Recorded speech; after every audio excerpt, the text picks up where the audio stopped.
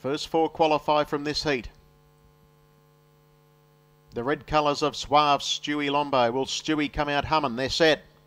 Racing. And uh, going up in the air, Suave Stewie Lombo. Oh, a sensation at the start. Suave Stewie Lombo was up in the air. He's down and pacing, but has dropped out to be last of all. And Better Bet Black, showing his customary gate speed, had gone to the lead. In second spot up on the outside is Beautide, and then came Lochinvar. A length and a half away, then came Monofeith, followed by Chariot King, and the next pair were For a Reason and Seal and Print, followed by Mark Dennis. Two lengths away, then to T-O-N-T-O, and only a length away to Suave Stewie Lombo. But has he caused himself some difficulties by galloping at the start? Well, we'll soon know, because Beautide has ambled to the lead. And as they travel down the side of the track now with 1800 metres left to go, it's Beautide the leader. Two on Better Bet Black. Lochinvar against the pegs is third, and there's for a reason on the improve out wider.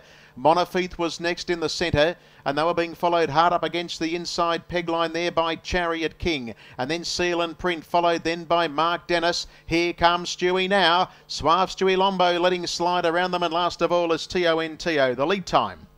It was 57.8 as they come down the straight with 1450 metres left to go. The leader is Beautide. He has a look across. He sees Saddlecloth 6 looming large. Suave Stewie Lombo gets to the leader's wheel. In third spot is Better Bet Black and then came For a Reason getting some cover. Against the pegs, three markers and fifth is Lochinvar and then Monofeith, third horse on the running line. A half length away then to Chariot King. Seal and Printers on the outside of runners and then came Mark Dennison. Still last of all is T-O-N-T-O. Last quarter of the last mile, or first quarter of the last mile, 28.9 as they run into the back straight turn now with a thousand metres left to go. The leader is Beautide, a half length in front of Suave Stewie Lombo. Better Bet Black is racing third and one out, one back is for a reason. Lochinvar three markers and fifth. And then came on the outside of runners then as they run down the back straight by Monofeith who hasn't really spent a penny. He's had a good run. Chariot King's on the inside, four back and then Seal and Print. A length away in the field then came Mark Dennison, T-O-N-T-O, 27-8. They're absolutely low flying.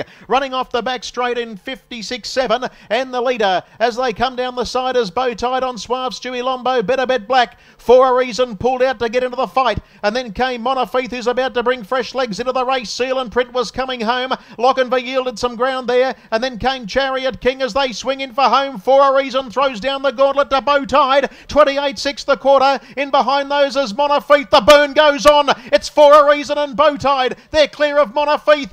T-O-N-T-O sprouting wings when it's all over, but it's Beautide, the champion. He's a length and a half. He's two in front. He's holding for a reason. He's back, baby. Beautide, look at him go. Cruise control down to the wire, and Beautide goes home to beat for a reason.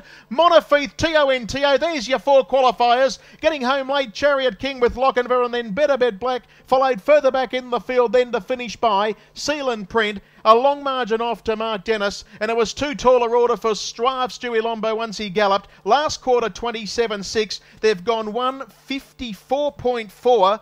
154.4. That's just outside the Australasian record, or the world record, held by a better punt.